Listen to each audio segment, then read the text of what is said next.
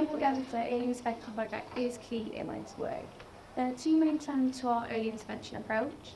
The first is identifying individuals who are currently or maybe in the future at risk of homelessness. And then we want to then offer rapid and support, um, which is early intervention, informed guidance, and other support to prevent persons escalating to risky of illness.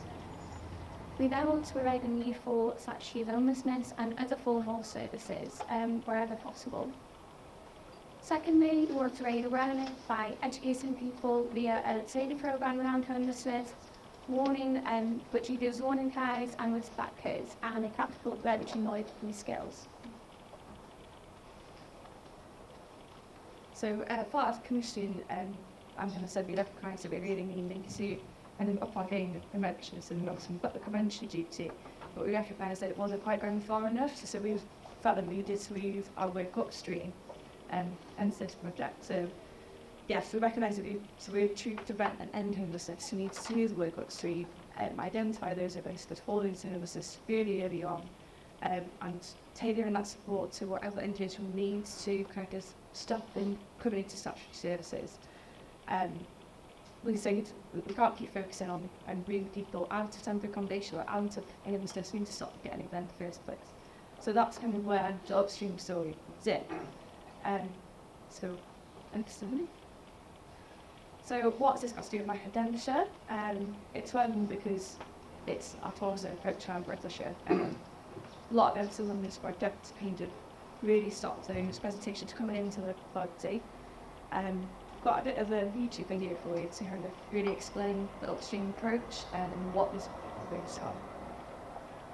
Imagine a warm, sunny afternoon. Suddenly, you spot someone in the river being swept downstream and struggling to stay afloat. Without hesitation, you jump into the river and help the person to shore. As you help that person dry off, you hear another cry for help. Someone else is being swept downstream. Immediately, you jump into the water again and pull out this second person. This scenario continues all afternoon. As you pull someone safely to land, you have to jump back in and save someone else. Finally, you say, I can't go on like this, and walk upstream to see what's happening. As you walk upstream, you warn other bystanders. People are falling in the river. Please help them. Tell everyone you know. Finally, you find the problem. You notice a large hole in a bridge which is causing people to fall in. Something must be done. First, you put up a sign to warn others about the hole in the bridge. You warn anyone you see about the hole and ask them to help spread the word of caution. You even start offering classes to help people in the community learn how to swim, just in case they do fall in. Finally, you realize that to truly minimize the problem, you have to repair the bridge. You work with others in the community to close the hole. Occasionally, some people still fall in, but there are far fewer people that need to be saved.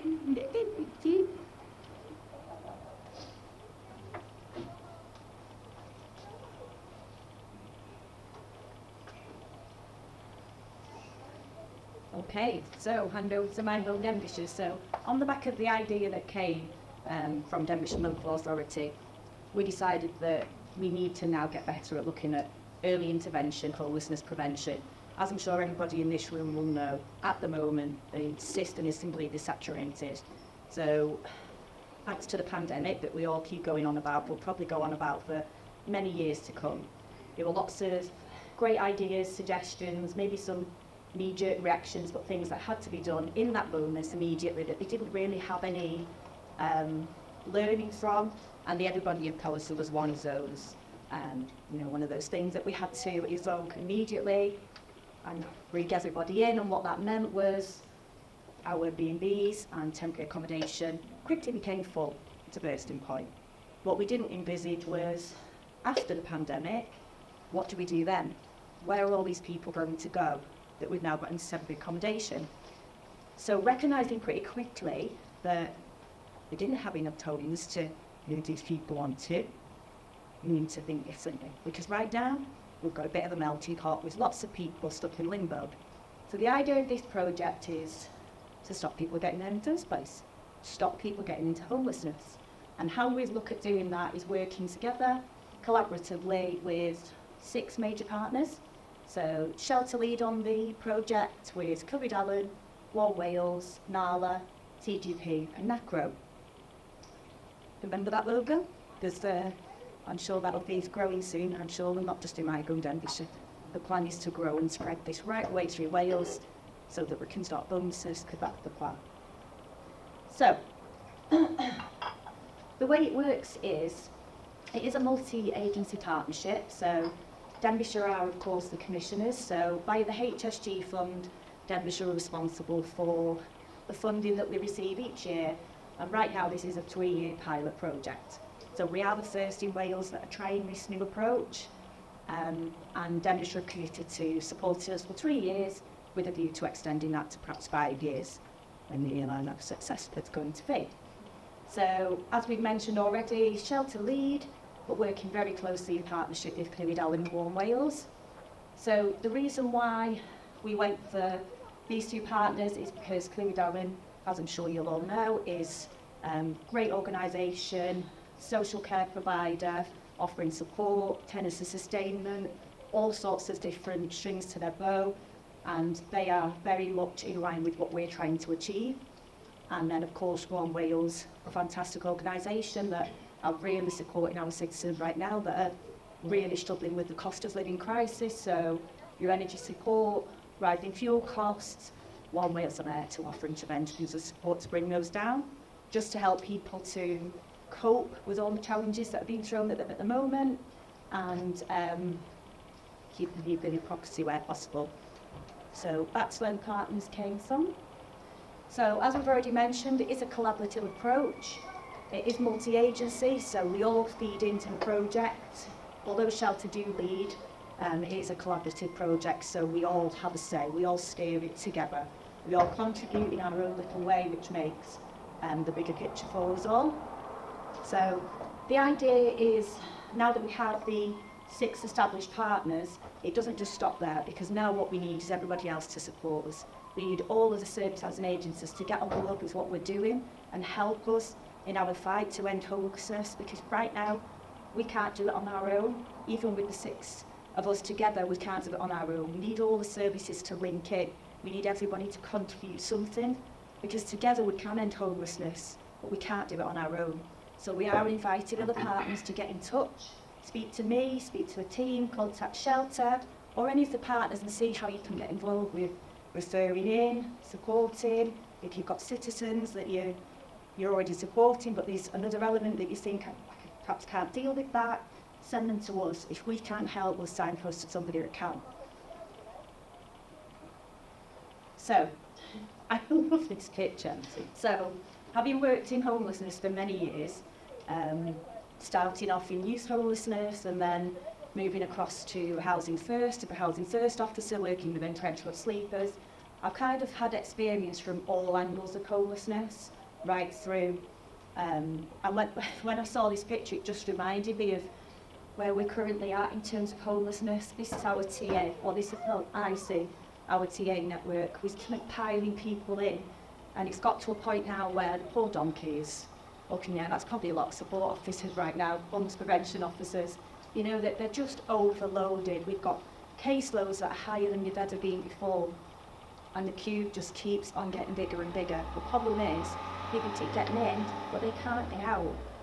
We can't get people out of the system, so the more the queue, the more they still the TA, where do we put them? This is why we've got to get so much better at keeping them where they are. They've all come from somewhere, They're coming to homelessness from somewhere. Why didn't we stay where we were? That's where we need to get better. So, yeah, so it's myself and early intervention workers from Shelter Cymru.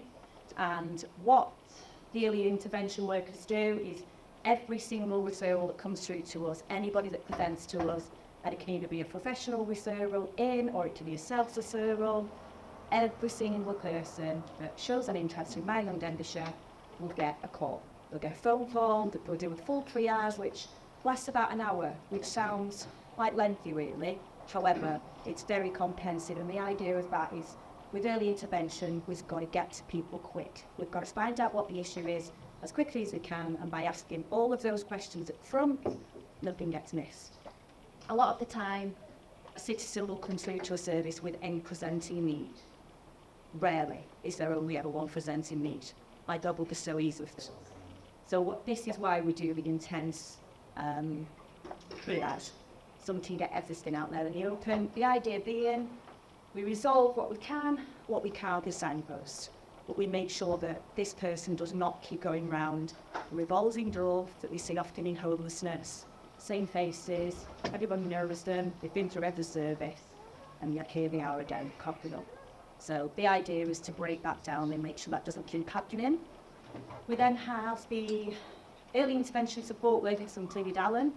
So this role sort of enhances on from the triage role. So um, the lady that we've got in post at the moment is fantastic at offering support to people who may have more complex needs, but can't really be addressed by the early intervention workers. So with this post is the post that can take slightly longer. So we're not able to just quickly signpost or refer these citizens on or, or resolve the issue ourselves, such as you know, helping to get them on the SARTH register or um, applying to the DHP fund with them or supporting your instructive application.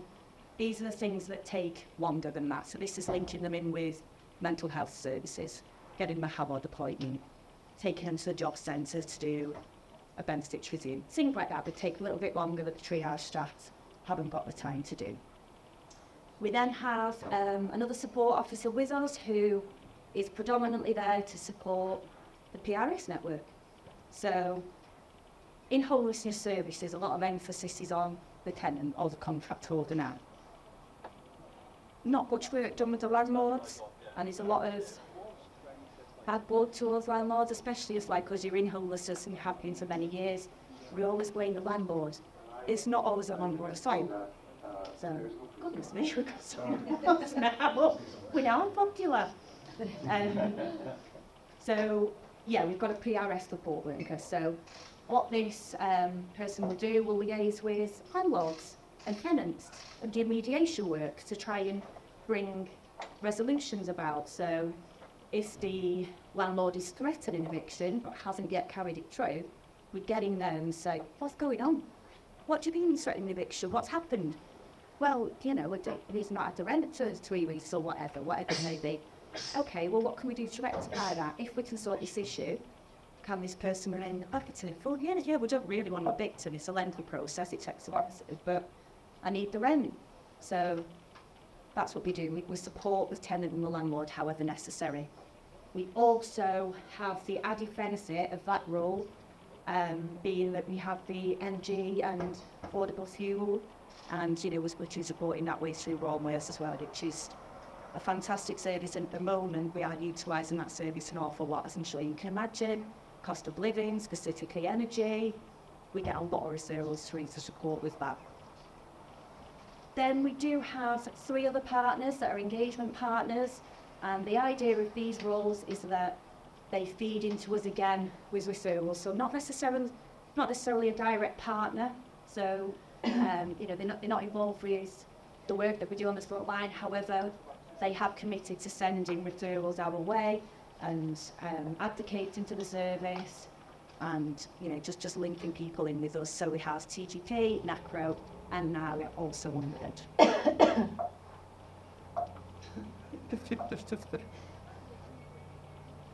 so what can my home to help with? So because we're really intervention because we're clean homelessness prevention support, it's very difficult to define what it is exactly that we do. Because anything that comes through to us could potentially lead into homelessness if not dealt with. So, you know, rising utility bills might not seem like an issue that would lead somebody into homelessness. However, when you're having to make the choice between paying your utility bills or paying your rent, that's, that's when things start to escalate.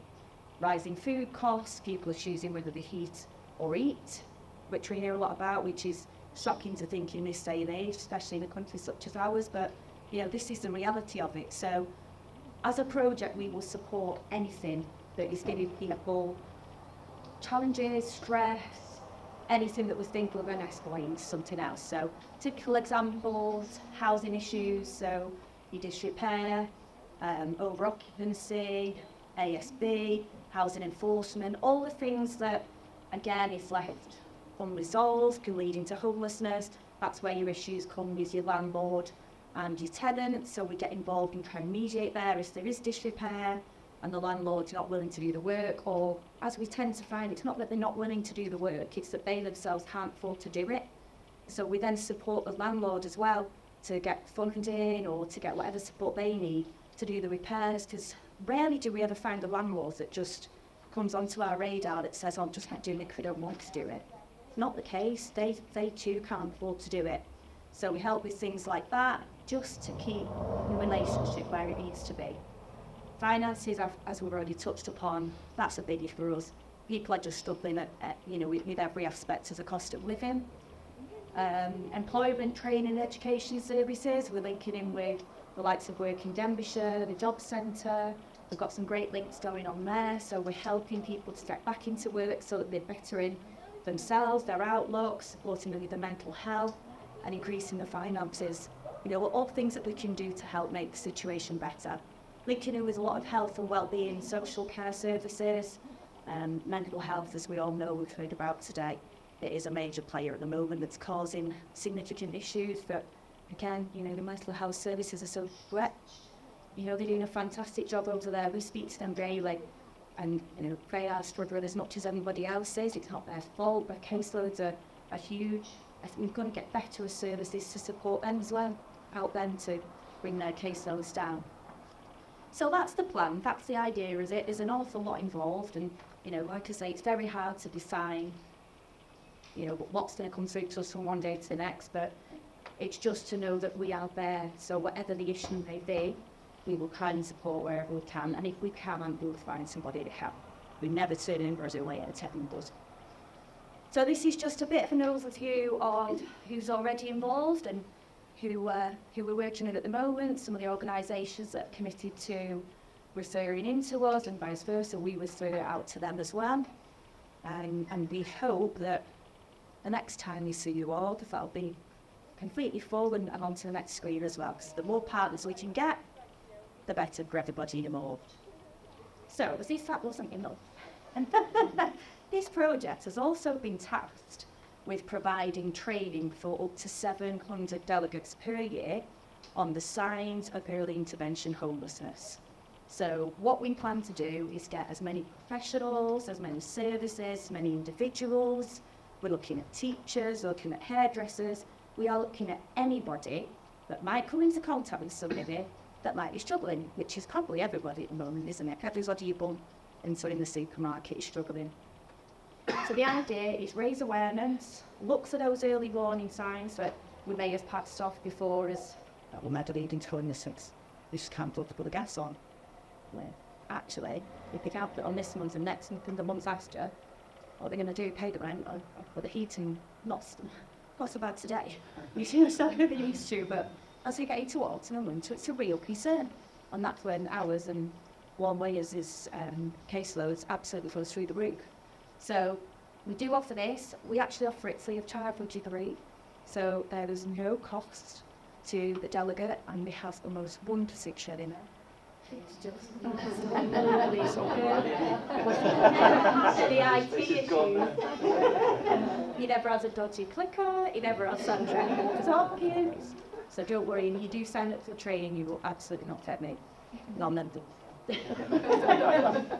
So yeah, so if anybody's interested in attending that training, please do reach out. It's, there's two parts so far, and there's, we're growing that as we go, but there's two parts that we currently offer, so it's two half-day sessions, and it's just, you know, we're not going to teach anybody to suck eggs, because, you know, you all know about homelessness, you all know what it involves, and you all know um, how to support people who are coming into the homelessness system. But it's just reminding us, it's just remembering, and listening to the stories of those who've lived experience, those that have been through these systems, and they tell us how it is, rather than us telling them. So it's important. It's important to keep our eye on that. So, this is how you get involved. Don't worry, I don't expect you to write all that down. You can, sure. we will send these out. So these are our contact details. Now, just to make you aware, at the moment, we only cover County of Denbighshire. So we are North Wales. However, that will we, are going to because this service has already proven its worth. We already know how important this is. All we hear about nowadays in homelessness is prevention.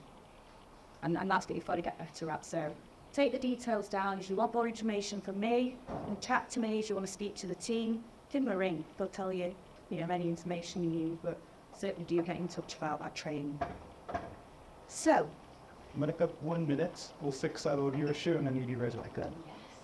do it. They recruit the researchers. Excellent. And now, now they're recruiting. Uh, Um, so what we're going to do when, when it's ready is we're just going to have a quick chat video that we've created. And so put that up here last time, don't so this video was created by our Take, um, Take Notice project, which works with citizens that have been through the Shelter Cymru Service. So they are now telling us what the situation's like for them and, and what it meant to them to receive the support and help. So um, yeah, I'll hand over to Ready? We're ready, yeah. Go. Me volley. uh, yes, I'm ready. This is Thank you. Back of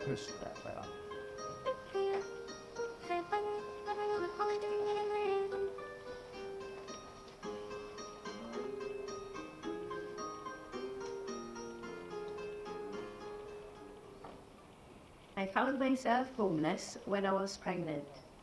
It was the worst feeling ever, and I never imagined that I would never not have a roof over my head. Being homeless sucks. I've heard people say you can't become homeless if you have kids, but that's not true.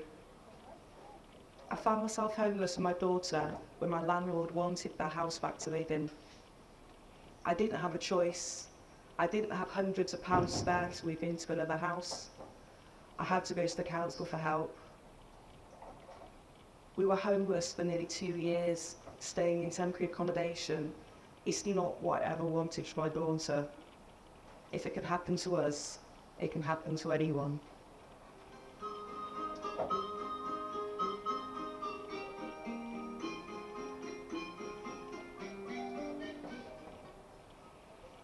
The age of 17, I failed my college course and a year after I finished going to Navy and I tried college again.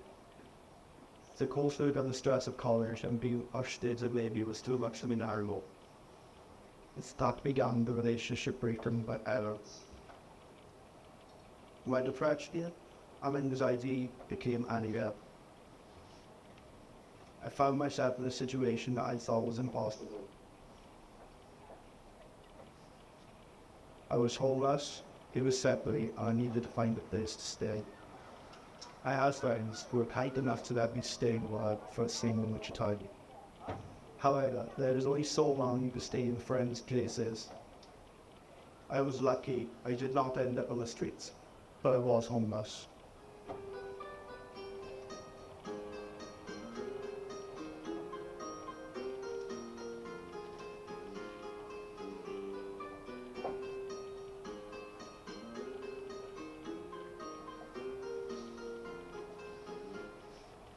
Homelessness is a very strong and powerful word. What is its meaning? Does it make you hard to take drugs? Sleep in shop doorways. Look at me. What do you see? I'm out fishing, a hobby from my childhood. Yes, I may have a drink, but you would too and having some you time. Yes. I'm just a normal guy living a normal life.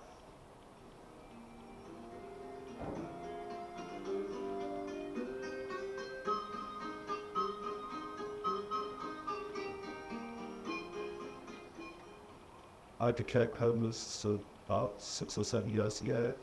The accommodation that I was living in was my partner's place of work, therefore I had no legal tenancy rights. After 12 years, uh, my partner decided to evict me very suddenly.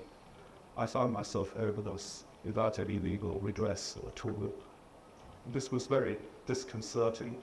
I had to make very urgent decisions and eventually found some accommodation in Wales for myself and the two dogs that I had, which were a further complication in the addiction. The impact this had upon me um, was to make you feel very depressed.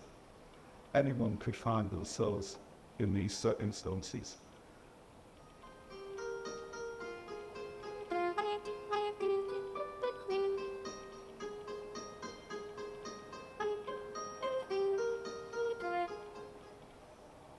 After leaving the military, I became quite unwell and was eventually diagnosed with PTSD. I was able to work, cope, nor able to manage even simple daily tasks. I very quickly got behind in my rent payments. I to resolve this with face-to-face meetings with my landlord. My life really did seem to fall to bits. It heart-wrenching, soul-destroying, and leaving me with a sense of self-worthlessness.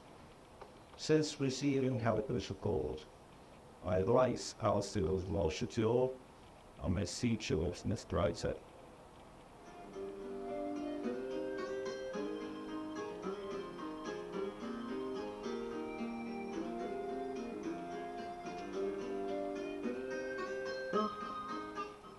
My landlady wanted her house back, so I had to leave. But I'm not your typical homeless person that you might think of. I was already a pensioner at that point. I had been a professional person all my working life, and I did not choose to become homeless. The realization that I could suddenly lose everything that mattered to me was devastating. Mae sefyllfa gartrefedd odl yn gallu bod yn fregus. Ac mae'n aml yn cael ei hunan fel ar bai a fe'n cwl i'w gwbl.